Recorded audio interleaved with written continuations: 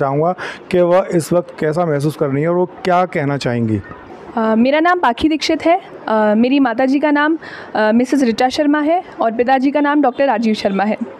मेरे माताजी एक गवर्नमेंट स्कूल में टीचर हैं और पिताजी एसोसिएट प्रोफेसर हैं मंगलायतन यूनिवर्सिटी में।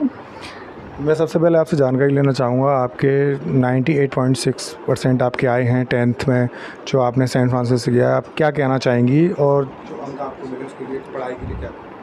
बहुत ही अच्छा लग रहा है 98.6 परसेंट बहुत ही अच्छी परसेंटेज है और इसके लिए डेफिनेटली बहुत मेहनत करी थी और उसके बाद ही हार्डवर्क के बाद ही ये परसेंटेज मिल पाई है। पढ़ाई में आप कितने घंटे आपने पढ़ाई की और क्या आपको लग रहा था कितने परसेंट आपको आएँगे या कुछ आपको इससे भी ज़्यादा उम्मीद थी? अ, पढ़ाई तो टास्क बना के पढ़ाई करती थी कि एक प्लान बनाया और उसके उसको एग्जीक्यूट किया और एक्सपेक्टेड था कि 95 प्लस परसेंटेज तो आई जाएगी। जैसे जानकारी हुई जो डिस्ट्रिक्ट टॉप किया है गौरव ने वो आपका ही क्लासमेट है। क्या आपका कुछ ऐसा मतलब कंपटीशन कुछ ऐसा था या मुझे ज़्यादा अंक प्राप्त करने कुछ ऐसा? हाँ उसने टॉप किया है। चांस की बात है अदरवाइज़ आई डोंट थिंक ये कंपटीशन में कोई भी कमी थी।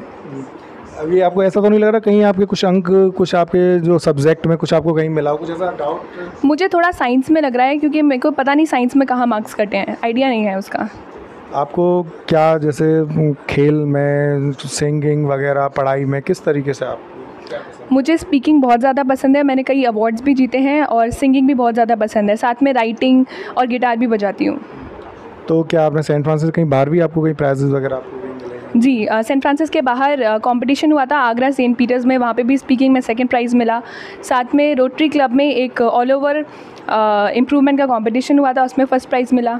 आप किसको श्रेय देना चाहेंगी जो आपके परसेंटेज को लेकर? सभी फैमिली मेंबर्स को। जैसे पढ़ाई में आपके साथ में कौन आपको पढ़ाते थे और किसके साथ पढ़ना? ट्यूशन्स वगैरह आपका क्या रहता था? मैंने कभी ट्यूशन नहीं लिए।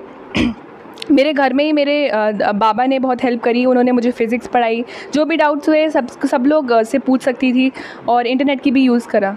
यानी आपने ट्यूशन कहीं भी नहीं लगवाया और घर के ही जो आपके मेंबर्स हैं वही आपको पढ़ाते थे। वैसे क्या बनना चाहती हैं? आपने क्या आपने सोचा है आगे के लिए? आपका फ्यूचर में क्या बनना I want to be a civil servant I S I S के लिए।